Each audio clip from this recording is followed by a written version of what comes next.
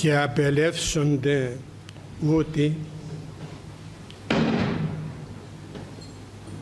εις κόλαση αιώνιων. Οι δε δίκαιοι εις ζωήν αιώνιων. Αδερφοί μου, μας εξίωσε ο Θεός μας και εφτάσαμε την ημέραν ταύτην. Είναι η Κυριακή της Απόκρεου. Τι σημαίνει τούτο, ότι οι πιστοί των Θεών πρέπει να απόσχουν από το κρέας από εδώ και πέρα. Δηλαδή η ερχομένη εβδομάδα είναι της στυροφάγου και μόνον τυρί, αυγό, λάδι τρώγεται όλη την εβδομάδα χωρίς κρέας. Μα προσέξουμε αυτά τα λόγια του Κυρίου μας που μας λέγει και η Εκκλησία μας τα οποία τηρεί και υπενθυμίζει τα παιδιά της. Προσέξτε λέγει διότι η νηστεία είναι αρετή και τα αρετάς πρέπει να τα στηρώμε διότι με αυτάς εισερχόμεθα στη Βασιλεία των Ουρανών. Έξι σημεία έχει επισημάνει το Ιερόν Ευαγγέλιο σήμερα το οποίο είπε ο Θεός. Το πρώτο είναι πεινασμένος και διψασμένος. Το δεύτερο είναι γυμνός και ξένος. Και το τρίτο φυλακή και ασθένεια. Αυτά τα έξι σημεία είναι εκείνα τα οποία ο Κύριος μας απευθύνει προς τους εκδεξιών αυτού και προς τα αριστερά αυτού. Μέσα στην φαντασία μας αυτή τη στιγμή αδερφοί μου πρέπει να παρακολουθήσουμε από την ημέρα που γεννήθηκε ο Αδάμ έως την ημέρα κατά την οποία θα μας κρίνει ο Θεός όλον τον κόσμο. Ως άμμος της γης, της θαλάσσης και ως τα άστρα του ουρανού. Βίβλοι ανοιγήσονται λέγει και τα κρυπτά δημοσιεύονται. Φοβερό τούτο το οποίο μας προειδοποιεί ο Θεός βίβλοι ανοιγήσονται. Δηλαδή θα μας κρίνει ο Θεός με ένα βιβλίο το οποίο θα ανοίξει. Και ποιο είναι το βιβλίο τούτο; Το ξέρουμε όλοι μας αλλά δεν το φυλάττουμε, δεν το εκτιμούμε. Δεν δίδουμε καμία προσοχή. Το βιβλίο το οποίο θα ανοίξει ο Θεός για να κρίνει τον κόσμο του είναι το Ιερό Ευαγγέλιο, η Αγία Γραφή και θα πει ο Θεός τούτα που γράφω εδώ τα ετηρήσατε ποιος θα δυνηθεί να πει ότι τα ετήρησε ουδής διότι όλοι είμαι θα αμαρτωλοί και όλοι μας είμαι θα ανάξιοι την Αγία Γραφή από το ιερού του το άμβονος σας παρακαλώ πολύ μην την αφήνετε από το χέρι σας. Ο νόμος σου λέγει ο προφήτης Δαβίδ είναι λίχνος που φωτίζει τα βήματά μου. Είναι το λιχνάρι που μας οδηγεί ο Θεός στην Βασιλεία του Τενεπουράνιων. Να βλέπουμε πάντοτε μπροστά μας αυτά τα οποία πρέπει να τηρήσουμε και είναι ουσιαστικά. Δεν είναι τίποτε τα οποία λέγει ο κόσμος. Ε, τώρα λέγει, θα διαβάζουμε Αγία Γραφή. Τι είναι η Αγία Γραφή, είναι για τους παπάδες λέγει, για τις γριούλες. για εκείνους οι οποίοι είναι αγράμματοι. Εμείς οι γραμματιζούμενοι, εμείς οι παραμορφωμένοι, δεν μας ανήκουν αυτά. Δεν μπορούμε να διαβάζουμε τέτοια πράγματα εμείς. Πλην όμως σήμερα η ημέρα αυτή η οποία ονομάζεται της μελούσης κρίσεως είναι ένα άλλο σημείο τούτο. Εις κάθε Θεία Λειτουργία υπενθυμίζομαι τούτο το γεγονός. Ποιος όμως το γνωρίζει, ποιος το προσέχει; Και πάλι ερχόμενον μεταδόξης λέγει το σύμβολο της πίστεως και πάλι ερχόμενον μεταδόξης τον Κύριο μας δηλαδή κρίνει ζώντας και νεκρούς. Θα έρθει λέγει να κρίνει ζώντας και νεκρούς. Ποιος ο κριτής του κόσμου. Δεν έχουμε να βάλουμε κανέναν δικηγόρο από τους μεγάλους οι οποίοι δείχνουν και τα χέρια τους πώς θα θέλουνε. Όταν μοιάσουν να υπερασπιστούν κανένα με τα δάχτυλά τους λέγουν δύο, τρία εκατομμύρια, τέσσερα εκατομμύρια θέλω να σε υπερασπίσω λέγει με αυτά. Πλην όμως δεν είναι έτσι τα πράγματα. Εκεί δεν υπάρχουν ούτε δικηγόροι, δεν υπάρχουν ούτε δικαστές, δεν υπάρχουν ούτε μεσίτες, δεν υπάρχει κανείς. Μόνος ο Θεός και κατηγορούμενοι εμείς όλοι μας. Ένοχοι εμείς όλοι μας. Κανένας δεν έχει την τόλμη να πει εγώ δεν έχω αμαρτίες. Ουδής αναμάρτητος. Είμαι μόνον ο Θεός. Είμαι μόνον εις λέγει ο Θεός. Ανοίγουμε λοιπόν εκεί τα βιβλία τα οποία ο Κύριος μας μας λέγει.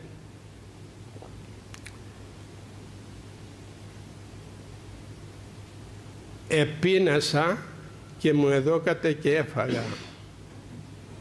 Εδίψασα και με εποτίσατε. Ένα ποτήρι νερό και αυτό στη Βασιλεία των Ουρανών είναι παρησία. Να το δώσουμε σε εκείνον που διψά στο δρόμο.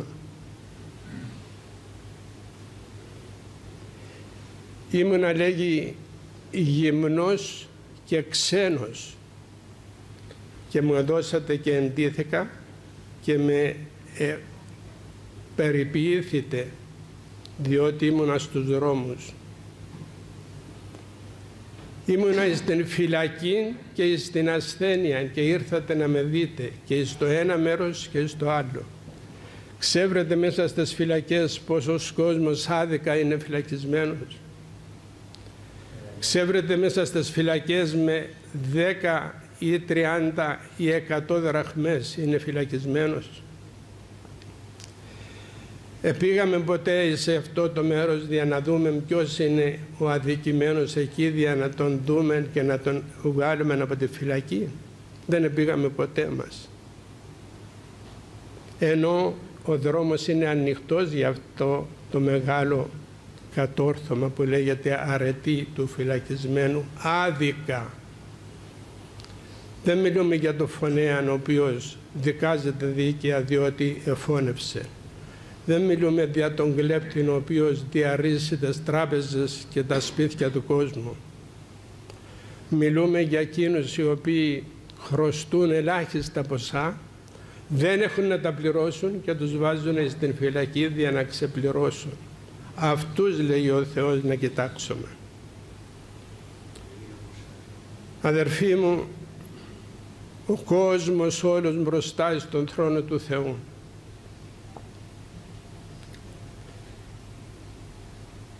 Μία ενέργεια του Κυρίου μας είναι να χωρίσει αυτόν τον κόσμο σε δικαίους και αδίκους. Με αυτά τα δισεκατομμύρια του κόσμου πώς θα τα χωρίσει ο Κύριος μας; Με ένα λόγο μόνο. Θα πει μόνο ένα λόγο και αμέσως εκείνο το πλήθος θα χωριστεί σε δύο μέρη. Εις τους δικαίους και εις τους αδίκους εις εκείνους οι οποίοι μετενόησαν και εις εκείνους οι οποίοι μηδέποτε μετενόησαν. και όταν στήσει τους εκδεξιών αυτού και τους εξεβονίμων, δηλαδή από τα δεξιά και από τα αριστερά, τότε άρχεται η δίκη. Αλλά αναφέρεται και ένα άλλο σημείο, ότι θα αναστηθούν οι πάντες εις ηλικία μίαν. Πατέρες της Εκκλησίας λέγουν ότι η ηλικία μας θα είναι 100 ετών όλων και άλλοι πατέρες της Εκκλησίας λέγουν ότι θα είναι 33 ετών που εσταυρώθηκε ο Κυριός μας. Η ηλικία μία. Έπειτα δεν θα υπάρχουν κουτσί, δεν θα υπάρχουν τυφλοί, δεν θα υπάρχουν από αυτούς τους νάνους οι οποίοι επλήρωσαν με το αίμα τους όταν ο Χίτλερ τους συνήθρισε και τους εφώνευσε και τους εξαφάνισε. Όλοι θα είμαι θα εις ηλικίαν μίαν ενώπιον του Θεού. Ίδιον ανάστημα, ίδια χρόνια και ίδια παρουσία εις τον Θεό. Αδερφοί μου, ως εδώ τα πράγματα είναι καλά. Πλην όμως αυτό που λέγει αιώνια, τούτο σημαίνει ατελείωτο. Δεν έχει τέλος. Δεν υπάρχει τέλος. 10, 20, 100, χίλια χρόνια. Ατελείωτο. Η ζωή αιώνιον λέγει και η σκόλαση αιώνιον. Η αμαρτωλή τους παρουσιάζει ο Κύριος μας ως ερήφια. Τους δικαίους τους παρουσιάζει ως πρόβατα. Γιατί διάλεξε τα ερήφια ο Κύριος με να πει στην δίκη του, διότι τα ερήφια είναι αναστατωμένα, ανήσυχα, δεν κάθονται ποτέ ήσυχα. Το αρνίον όμως είναι άφωνο και ήσυχο. Βλέπουμε τον Κύριό μας ο οποίος ακριβώς οδηγήθηκε προς τη σφαγή. Ως πρόβατο λέγει επί σφαγή νύχθης Χριστέ Βασιλεύ. Όπως το πρόβατο το οποίο το παίρνουν στη σφαγή και δεν ανοίγει το στόμα του, κατά τον ίδιο τρόπο ο Κύριος επήρε τη θέση του αρνίου.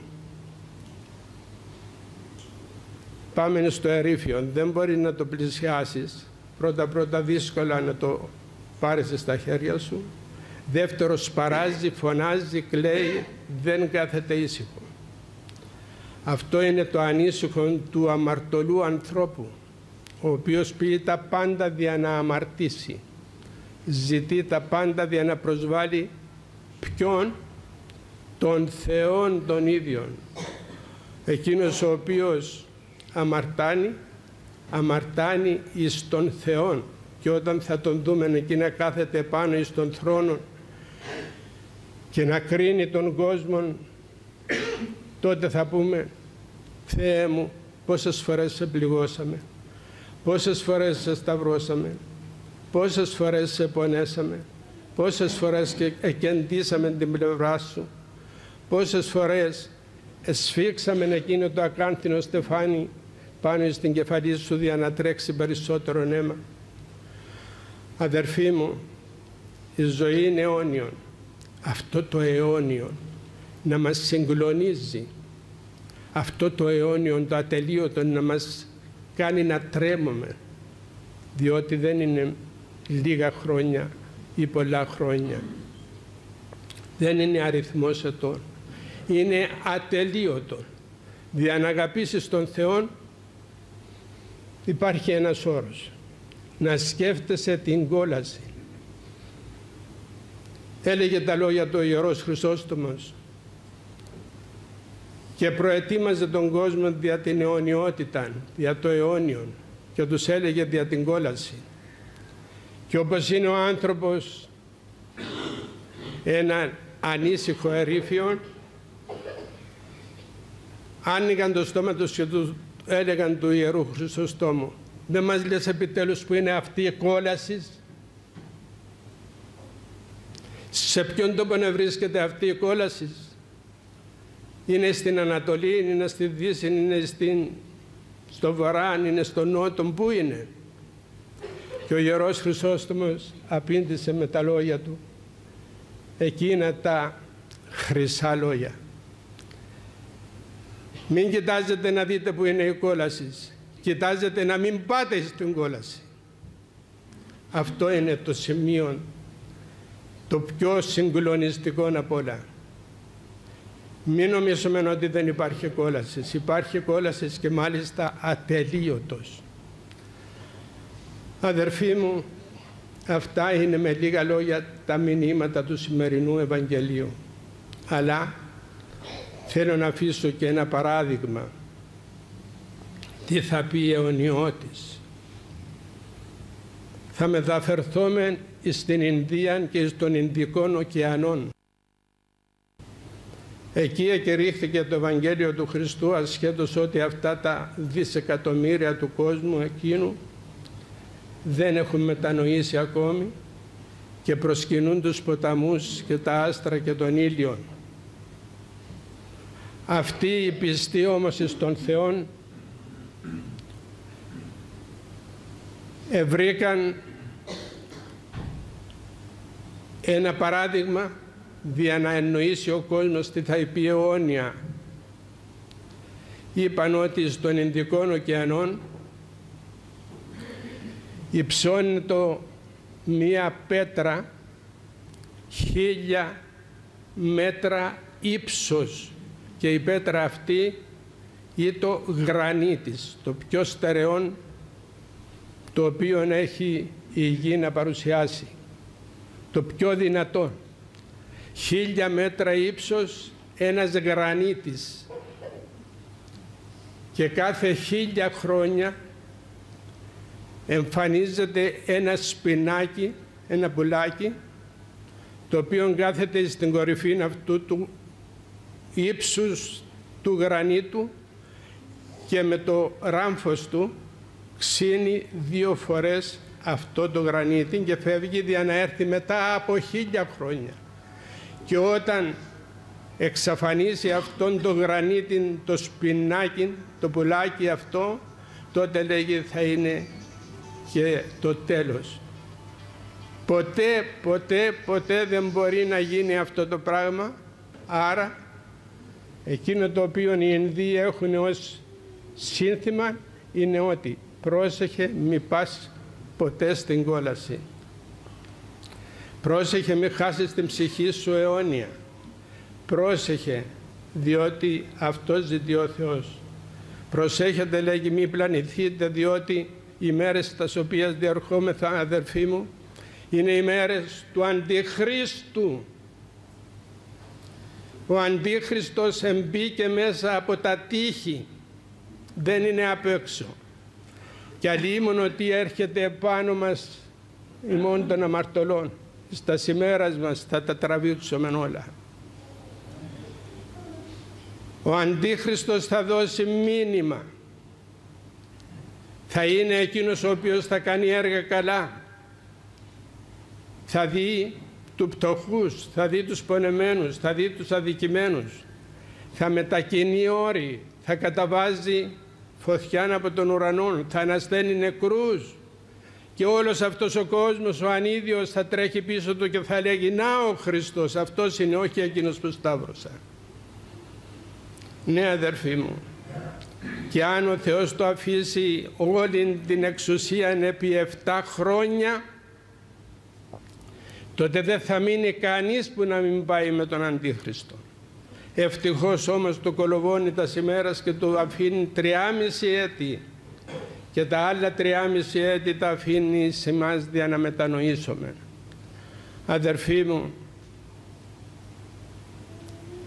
νομίζουμε ότι τούτα τα λόγια είναι ένα παραμυθάκι και ποιος σε ακούει λέγει, ποιος σε ακούει, ποιος σου δίνει προσοχή. Αδερφοί μου, στόμεν καλός, στόμεν μεταφόβου. Προσέχετε λέγει ο Θεός, μη πλανηθείτε. Μη σας πλανήσει ο διάβολος διότι δεν θα έρθει να σου πει εγώ είμαι.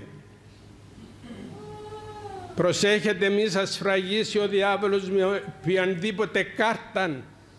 Αυτές οι κάρτες τα οποία σε εφευρίσκει είναι συγκλονιστική η κάρτα του πολίτη. Και εκείνος που μας κυβερνά σήμερα το είπε τούτο ότι όποιος δεν πάρει αυτήν την κάρτα λέγει ούτε θα πουλήσει ούτε θα αγοράσει.